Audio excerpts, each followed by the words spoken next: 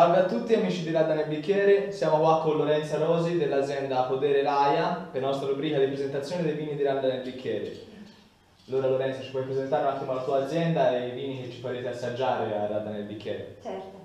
Allora, l'azienda ha un'estensione di vigneti di 11 ettari iscritti appunto al consorzio del Chianti Lassico L'azienda è stata comprata dalla famiglia Montrino negli anni 80, era una piccola azienda e durante gli anni sono state eh, effettuate delle ristrutturazioni sia nella, nella, parte della cantina sia nella parte esterna che riguarda i vigneti con nuovi impianti e nell'arco di questi anni diciamo, è sta, sempre stata maggiore l'attenzione al prodotto, quindi è un prodotto di qualità.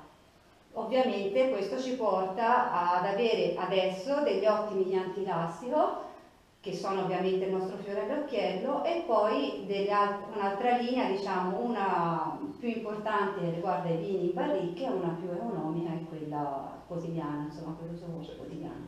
E che vini ci farete assaggiare Ovviamente per la manifestazione porteremo il Chianti Classico Base 2013 la riserva 2012 e di Quercia Rossa che è un IGT.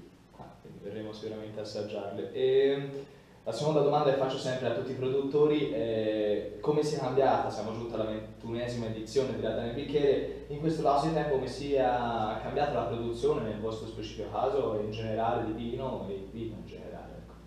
Ovviamente la produzione è cambiata, come dicevo prima, nell'attenzione nell'utilizzo dei prodotti e nelle tecniche della viticoltura stessa, quindi si cerca sempre maggiormente di apportare un maggiore interesse per quello che è l'aspetto dell'ecologia, del rispetto del territorio e questo ovviamente si, ritrova anche nel prodotto, che sicuramente è un prodotto più buono se vogliamo, con più attenzioni e ovviamente più qualità.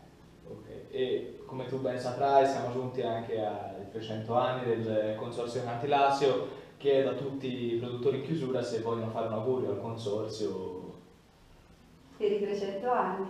Beh, che cosa possiamo semplicemente augurare che possa sempre promuovere nel migliore dei modi il nostro territorio e il nostro prodotto. Grazie mille, un saluto dal Podere Live. Vi aspettiamo a Rata nel Bicchiere.